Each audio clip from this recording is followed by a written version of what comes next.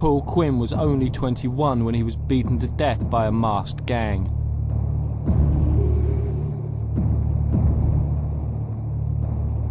I think he was expecting, you know, a, someone to come up and hit him or something like that there, but I don't think he expected what he was what he got like.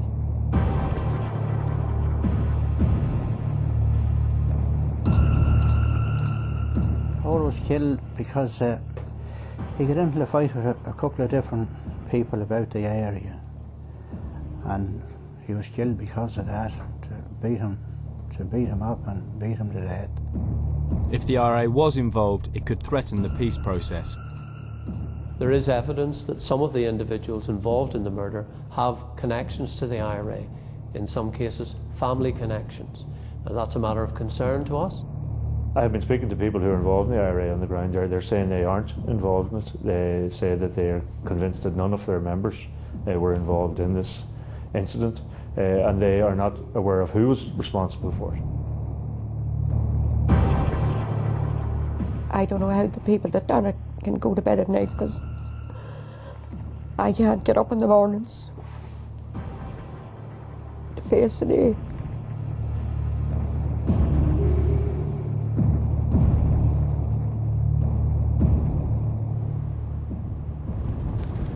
Just over three weeks ago, Paul Quinn from Cullyhanna in South Armagh was lured here, and he was beaten to death by masked men wielding iron bars. His family blame the IRA, and Sinn Féin strongly deny this. If his murder was sanctioned by the IRA, that has serious implications for the peace process. So on tonight's Spotlight, we ask, who killed Paul Quinn?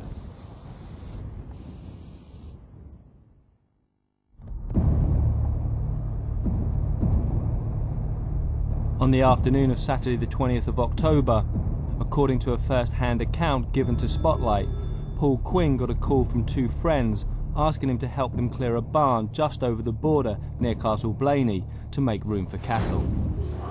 Unknown to Paul, a gang had already taken his two friends hostage and forced one of them to call him, drawing Paul into a deadly trap. Paul Quinn decided to spread the work and enlisted the help of a friend.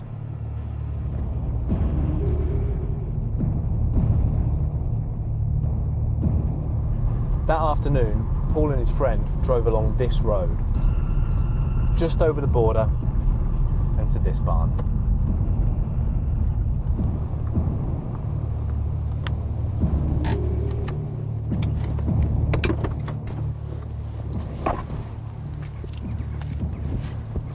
They got out of the car, they saw nothing suspicious, and they made their way down here to the back of the barn.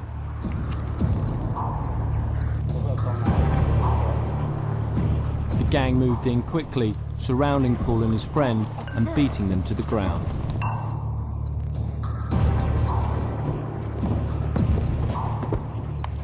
His friend was dragged off to another part of the barn where the other victims were being held. But according to our first-hand account, it was clear who the gang were really interested in. After separating Paul Quinn from his friends, the men systematically and savagely beat him with iron bars. As they did, they delivered a chilling message. We're the bosses round here. Paul Quinn's friends could hear his screams. Even after the screams stopped and Paul went quiet, the beating continued. As the men prepared to leave, the boys heard them spraying something on the ground. The victims' phones were smashed, and they were warned not to move for half an hour. The gang then left in a van they had hidden in the barn. But one of the victims was able to use his phone to call Paul's girlfriend Emma, who lived nearby. I was at home on the computer and I was texting Paul and then next thing his friend rang me and said that would tell me to ring an ambulance and I was there, what do you want me to ring an ambulance for? And said just ring an ambulance and when I hung up the phone I rang the ambulance and then I got into the car and went on down the road. I thought at first, you know, that he got his knees blow, blown off or something because there was like blood all around his knees or whatever and I think it was, was bone sticking out of his leg. He was just all completely battered, like he wasn't fit to move for anything. You wouldn't even expect a dog to be battered the way he was battered. At this point, Paul was struggling to remain conscious. He wanted to go home and I told him that I couldn't take him home. And um, he just, I, I told him there was an ambulance coming and he kept saying, when's the ambulance coming? But he couldn't even say, he couldn't even talk the way I'm talking. He was kept mumbling and all because he was in that much pain he couldn't even talk right. When the ambulance arrived, he was taken to hospital in Drogheda. I thought he was, you know, I thought like he just got a beating, like he had broken legs and then he was going to be alright in a few weeks, like. Paul's parents had been told what had happened and were on their way to the hospital.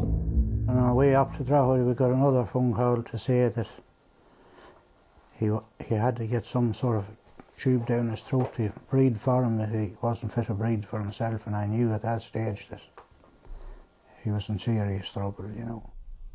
Paul's injuries were horrific. He had multiple broken bones and severe internal injuries. We were taken into a room, a small room, and we were told there, were, there was a medical team working on him and doing their best, and they were still working on him, but And I asked the doctor, did he, was, would he survive? And he said, no, I don't think so. Yeah, he, he was dead at that stage that he was, but they were trying to revive him and he, they tried it for an hour, I think. It was no good.